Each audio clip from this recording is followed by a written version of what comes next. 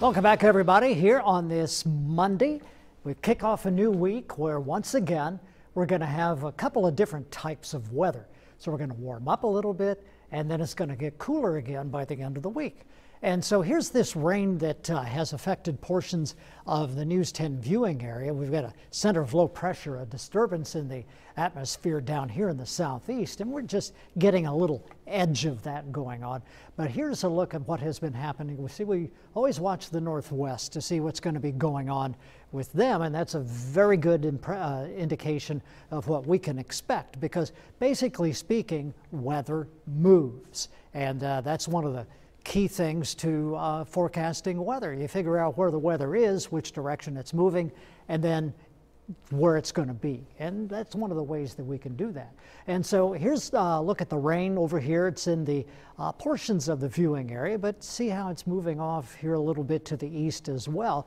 So tonight, after the, if it's raining at your house, or if you've had some light rain, we could even get some clearing tonight. So a partly cloudy sky later on tonight. In the meantime, Mattoon has 56 and Paris 55, 56 in Terre Haute, Linton 52 and Bloomington has 50 degrees, Flora has 60. So looking ahead, here we go. Uh, tomorrow, a high of 61 degrees, which is actually a little above average for this time of year. The average high is 58, and so we're up to 61 degrees. And then Wednesday, even warmer.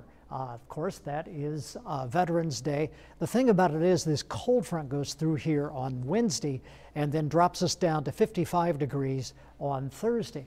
We're going to keep an eye on this because it's not out of the question that there could be some thunderstorms associated with this front that's coming through. So we're going to continue to keep track of that for you and let you know as it gets a little bit closer what the timing of the front is going to be and what it could actually bring as far as the possibility of storms.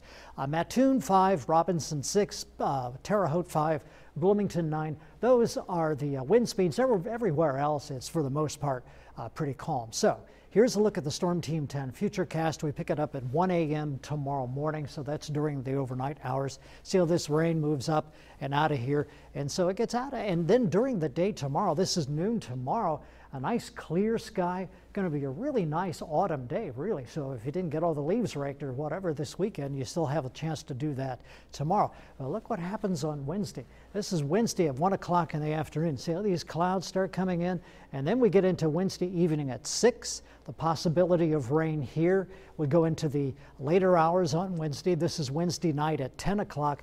Right now, during Wednesday evening after the sun sets, that's when I would expect the greater chance of showers and thunderstorms, and that moves through. And then during the overnight hours on Thursday, the rain gets out of here. So I'll continue to get a good timeline on that for you. In the meantime, partly cloudy, a light breeze, 31 degrees for the overnight low, and mostly sunny, a light west breeze tomorrow, high of 58. That's an average high. And then for tomorrow night, mostly clear, not as cold, 41 degrees for the overnight low. And uh, so here we go. There's uh, a look at what we can expect for the next few days. Wednesday, 66, but that front goes through. And then uh, we get into Thursday, high of 55 degrees. And once again, the weekend looks pretty nice. A little cool, but uh, the weekend looks pretty nice.